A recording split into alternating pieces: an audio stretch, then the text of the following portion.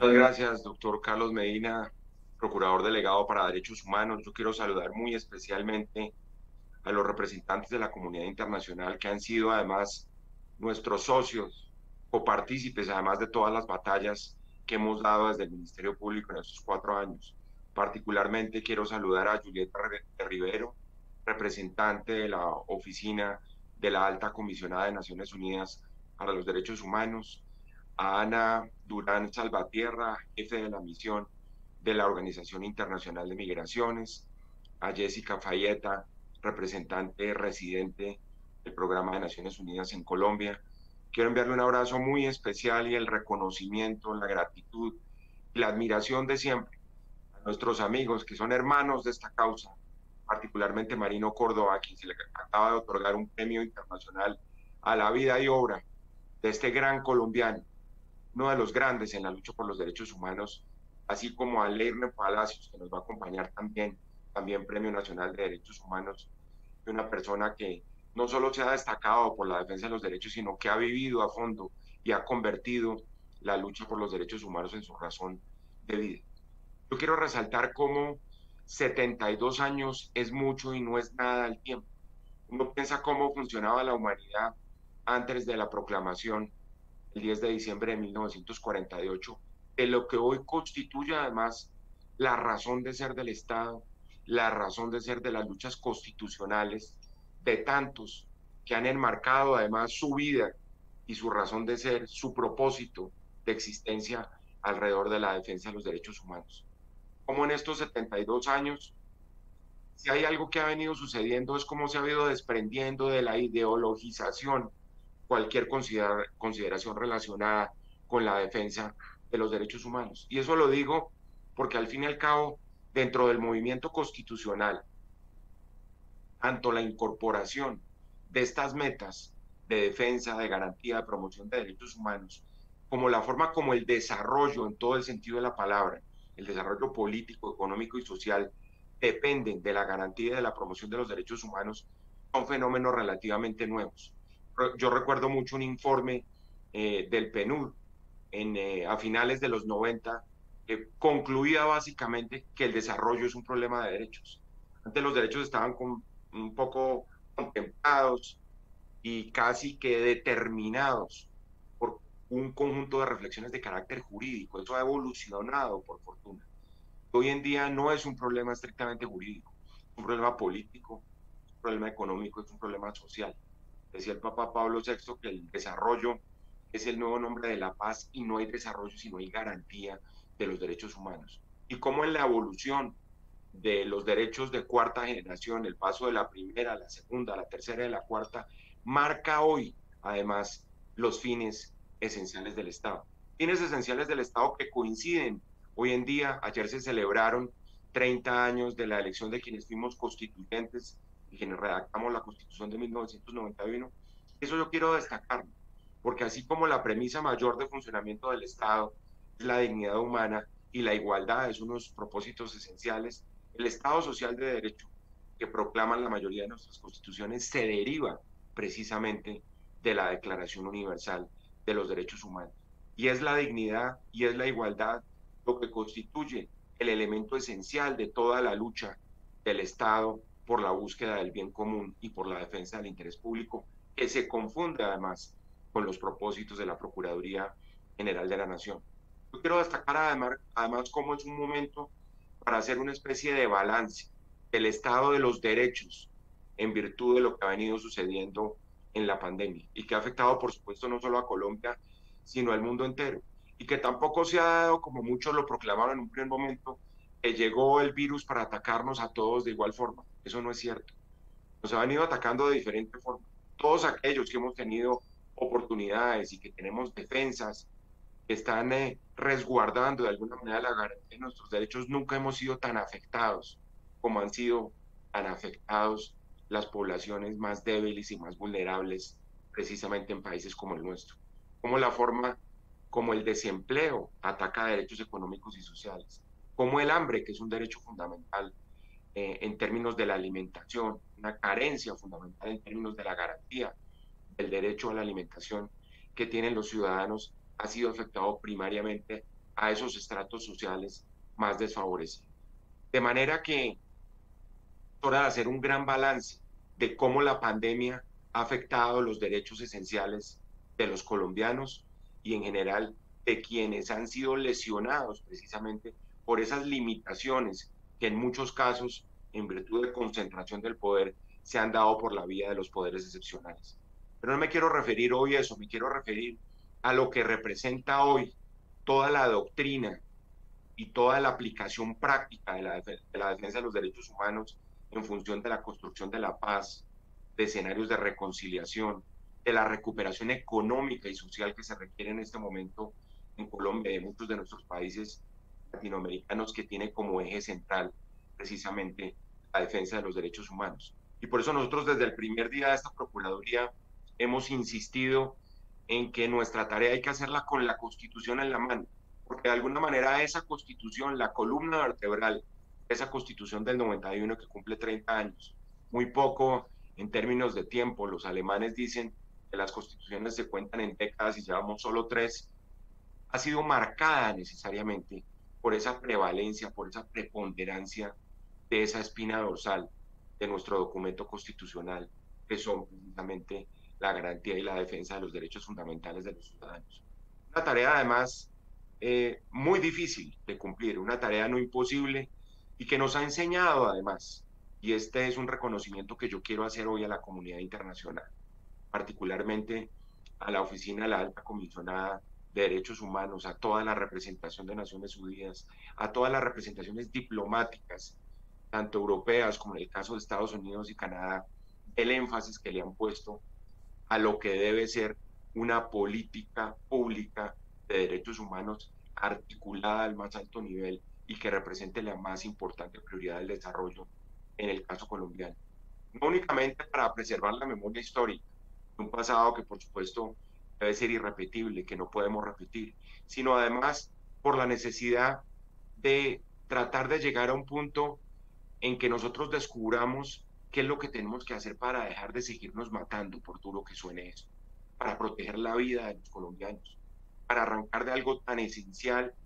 que no tiene por qué generar mayores divergencias. En un país en que está más fracturado que nunca, mucha gente dice, ¿por qué no nos ponemos de acuerdo sobre algo tan esencial como la defensa del derecho a la vida, como las posibilidades de defensa de la integridad física de las personas? Eso sería tan fácil y sería tan fácil sobreponerlo a tanta división, a tanta polarización, a tanto extremismo que hay en Colombia en este momento, con el ánimo siempre de ser todos aliados en la defensa de la vida, la dignidad, la paz y la reconciliación. Y aquí yo quiero destacar el rol que ha jugado Naciones Unidas en Colombia, siempre con esa bandera en alto, siempre en las situaciones más difíciles, acompañando esas circunstancias trágicas en que nos toca llegar a los terrenos, a esa Colombia profunda, a verificar de primera mano cómo seguimos lamentablemente en un desangre, por ejemplo, con las vidas de los líderes sociales. Y ha estado siempre Naciones Unidas, ha estado financiando estos esfuerzos. Yo quiero hacer un reconocimiento al Fondo Multidonante de Naciones Unidas. Muchas gracias a todos ustedes por estar siempre ahí. A la Organización Internacional de Migraciones, doctora Ana Durán, en estos últimos meses en que tanta confusión crea el tema de la inmigración, con ustedes sí que hemos eh, orientado los propósitos del Ministerio Público hacia lo correcto, en la defensa de los derechos precisamente de los pueblos migrantes. Porque al fin y al cabo, ahí es donde se configuran también las gravísimas violaciones a los derechos humanos y al derecho internacional humanitario. El año 2017, comenzando nuestra gestión, creamos la delegada para la defensa de los derechos humanos, combinando tanto la función preventiva como la función de carácter disciplinario para garantizar precisamente de manera efectiva todo lo que representa la defensa de los derechos humanos en los dos campos que son las funciones propias la misión de la Procuraduría. Y hemos tratado de obrar con los más altos, los más altos estándares precisamente en el cumplimiento de esas funciones. Funciones además que tienen que ver repito, con postulados constitucionales esenciales. Desde el año 2017 hasta la fecha, por ejemplo, eh, la Procuraduría Delegada de Derechos Humanos, eso lo puede contar después el doctor Carlos Medina, ha proferido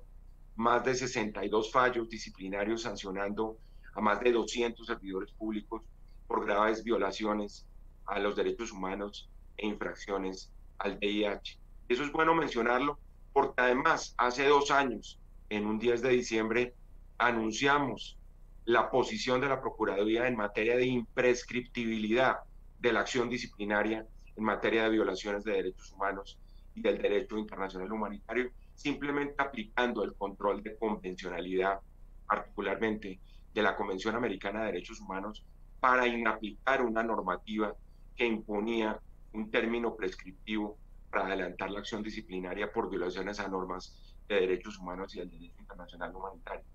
Esto nos ha llevado a ser postulados por la Corporación para la Excelencia de la Justicia a uno de los premios de la excelencia judicial que serán adjudicados y anunciados el próximo 14 de diciembre. Todo lo que hemos logrado desde el eje preventivo, porque aquí las acciones del Ministerio Público, y aquí debo destacar la acción de la Defensoría del Pueblo, quiero saludar al Defensor del Pueblo, al Vicedefensor que entiendo nos va a acompañar hoy también, precisamente por todas esas batallas que hemos dado conjuntamente con Naciones Unidas, con los embajadores europeos, en la defensa de los derechos de los líderes sociales. Es como si se hubiera ensañado la realidad reciente de Colombia con las vidas del liderazgo social, seguramente porque están viendo que hay un germen de transformación social del país que muchos no quieren en este momento. Como el acompañamiento en términos de garantías, por ejemplo, la protesta pacífica, a la justicia restaurativa, en el caso particular de la Justicia Especial para la Paz, ya la doctora Mónica Cifuentes les contará a lo largo de esta jornada cuáles han sido nuestras alianzas con la comunidad internacional y la lucha contra la xenofobia en el caso de la Organización Internacional de Migraciones. ¿Cómo? Esto es un motivo adicional de agradecimiento. Expedimos la Directiva 2 de 2017, recién llegados a la Procuraduría, en un proceso de construcción colectiva con los líderes sociales. Aquí nuestra gratitud de nuevo a personas como, como Marino Córdoba de Afrodes, a Francia Márquez, a todas las organizaciones. No terminaría mencionando todos los que hicieron parte de esta directiva, que fue novedosa y que fue inédita porque por primera vez se construyó conjuntamente, no en un escenario unilateral, el Estado imponiendo condiciones, sino conjuntamente con los líderes sociales que estaban sufriendo y continúan lamentablemente sufriendo de amenazas civiles, asesinatos a lo largo del territorio nacional. Y cómo en materia de, estigmatización asumimos ese reto que está clarísimo en esa directiva 02 del año 2017. a raíz de eso se crearon las mesas por la vida, que llevamos 10 mesas por la vida. Seguramente cerraremos con la última en el mes de enero, antes de, de despedirnos de la Procuraduría General de la Nación. La campaña Lidera la Vida, que organizamos con la Agencia de Desarrollo Internacional de los Estados Unidos. Todo eso que han servido como muros de contención desde el punto de vista de lo que pasa en los territorios, es lo que nos sigue teniendo muy preocupados, cómo buscar escenarios de diálogo, en donde en todas estas mesas y en la campaña Lidera la Vida hemos convocado a las autoridades nacionales, departamentales y municipales dentro de las limitaciones que tiene el Ministerio Público, porque como ustedes saben, nosotros ni administramos ni gobernamos y simplemente controlamos, monitoreamos, alertamos en relación con las violaciones de derechos humanos. Y yo creo que todos estos espacios preventivos han permitido diagnósticos sobre la gravísima situación de los líderes sociales, han impedido que seguramente se cometan más de estas atrocidades contra el liderazgo social de Colombia, pero es mucho más lo que tenemos que hacer en compromisos del gobierno nacional, departamental y municipal, además para resolver las causas estructurales de la violencia en los territorios, que tienen que ver, y eso ya es un lugar común decirlo, que tienen que ver con la presencia de los grupos criminales, con los desafíos en la implementación del acuerdo de paz, independientemente de que uno esté en acuerdo o en desacuerdo o lo esté apoyando, combatiendo, los acuerdos de paz de alguna manera señalaron un camino en donde hay una voz, particularmente, por ejemplo, para las poblaciones étnicas, ese capítulo étnico que está todavía en deuda precisamente con todos aquellos pueblos que han sufrido, lo decíamos recientemente, casi en un 60% la violencia en materia de liderazgo social, los temas de restitución de tierras, los problemas con la sustitución de cultivos, obviamente por la presencia de grupos de narcotraficantes. Es decir, aquí no hay una sola causa, sino es una multiplicidad de causas exigen la presencia de la oferta social del Estado, que exigen la presencia de la fuerza pública, de la justicia, del acceso a la justicia, que es una de las grandes carencias que se están viendo en los territorios. Hemos entregado, por ejemplo, a la JEP un informe sobre todas las acciones adelantadas por la Procuraduría desde 1990 con ocasión del conflicto armado. Y hemos creado con la Defensoría del Pueblo, y eso quiero destacarlo, una Comisión Nacional del Ministerio Público para el seguimiento de la respuesta rápida a las alertas tempranas. Todos sabemos la importancia que tienen las alertas tempranas, ese mecanismo en donde tiene que actuar de manera consistente e inmediata el Ministerio Público. Y por supuesto que lo hemos hecho. Estamos en este momento discutiendo, por ejemplo, en el marco del Plan Decenal del Ministerio Público, empujado además por el Instituto de Estudios del Ministerio Público, la posibilidad de digitalización con el ánimo de que esas alertas no solo se notifiquen de manera inmediata, sino que efectivamente lleven a las autoridades del gobierno en los tres niveles a actuar de manera inmediata, instantánea, para proteger las vidas de los líderes sociales. Lamentablemente seguimos en escenarios donde se dice aquí se les advirtió, aquí se les dijo, aquí una alerta temprana hace tantos meses y no se actuó. Entonces aquí es donde es tan importante todo ese trabajo con la comunidad internacional. Esto es un día de fiesta para Naciones Unidas y yo creo que es un día de reconocimiento de parte de nosotros como autoridades locales a todo el rol que ha cumplido todo el sistema multilateral en la defensa de los derechos humanos, convirtiéndolo en un propósito esencial del Estado y de la acción pública. En el cabo, con ese fondo multidonante, lo que hemos hecho es tratar de trabajar por el sostenimiento de la paz, de la reconciliación. Hemos venido adelantando ese proyecto llamado Satisfacción de los Derechos de las Víctimas a la Verdad, Justicia, Reparación y No Repetición. A esa deuda con nueve millones de colombianos que sigue casi intacta, lamentablemente, después de tanto tiempo. Que nos tocó prorrogar la ley de víctimas y seguramente nos tomarán muchos puntos, como debe ser, de la planeación y del presupuesto nacional en las próximas décadas. Por eso, con las delegadas ante la JEP, con las delegadas del Acuerdo de Paz, de Derechos Humanos, con la delegada de Asuntos Étnicos, hemos tratado de contribuir de la mano siempre de la cooperación internacional a incrementar, por ejemplo, el acceso a la justicia de las víctimas en el territorio. Ahí tenemos ese proyecto que fue resultado de la más importante consulta ciudadana en materia de justicia y de necesidades jurídicas insatisfechas que se ha hecho en Colombia en la historia y que está para segundo debate en el Congreso de la República. Proyecto sin ambiciones, proyecto que busca únicamente poner el foco sobre la justicia local, territorial, sobre fortalecer los mecanismos de acceso, que no tienen los ribetes ni de ley estatutaria, ni de ley orgánica, precisamente para que ojalá se pueda aprobar fácilmente en el Congreso de la República. Que permita además no solo los propósitos de acceso a la justicia, sino de satisfacer también el derecho a la verdad,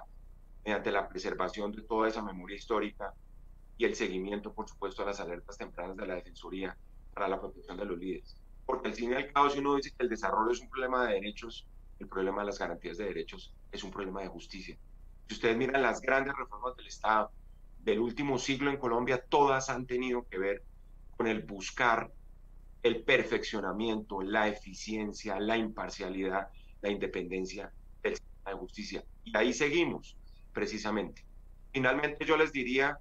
que todos estos componentes, todo este trabajo conjunto con la cooperación internacional, es al fin y al cabo la continuación de un proyecto que nos ha permitido definir también desde el punto de vista disciplinario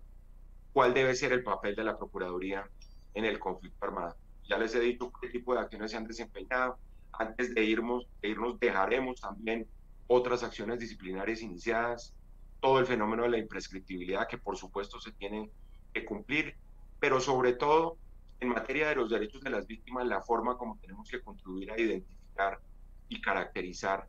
a las víctimas a partir de las acciones en términos de la historia de la Procuraduría General de la Nación. Yo quiero agradecer también a nuestra delegada ante la JEP, a la forma como hemos evolucionado con nuestra delegada de Derechos Humanos y de seguimiento de los acuerdos de paz en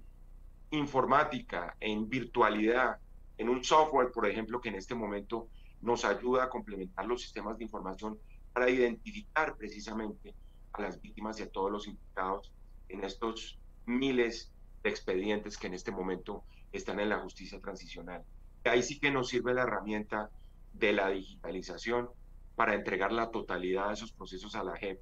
y a disposición del sistema entero de justicia. En conclusión,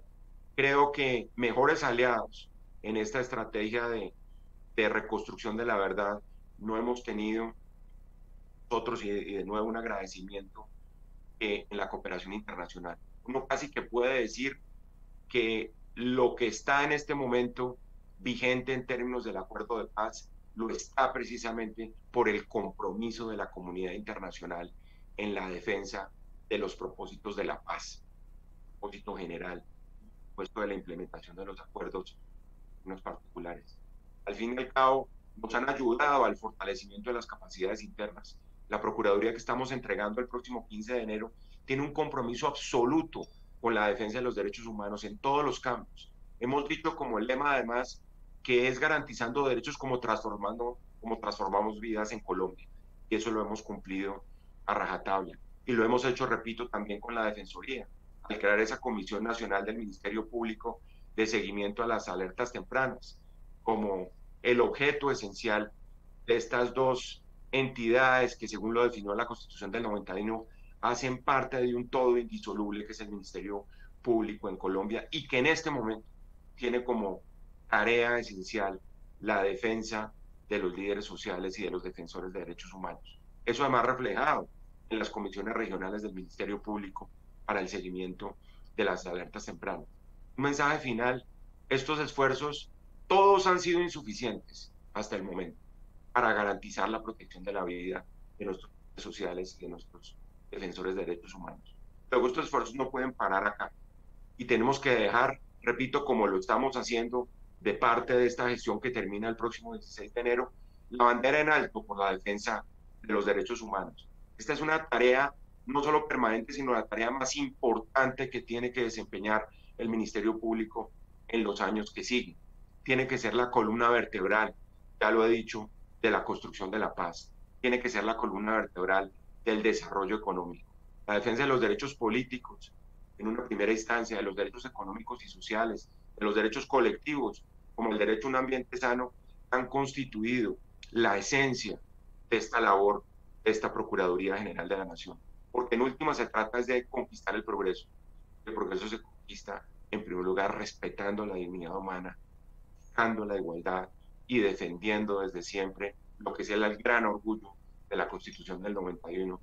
que es todo ese título de defensa de los derechos fundamentales de los ciudadanos. Este es el más grande desafío, además de la política interna de Colombia, es el reclamo que desde ya, desde la política externa, desde los organismos internacionales, y miren ustedes lo que ha venido sucediendo de reclamos que se hacen por gobiernos extranjeros al cumplimiento de los acuerdos de paz y a la garantía de los derechos fundamentales de los colombianos. Luego hay una ruta a seguir que esperamos continúe la nueva administración de la Procuraduría Sabemos que en la Defensoría del Pueblo tenemos un gran aliado y le pedimos a la comunidad internacional que siga más actuante que nunca acompañándonos en este esfuerzo. Un abrazo y muchos éxitos en esta jornada.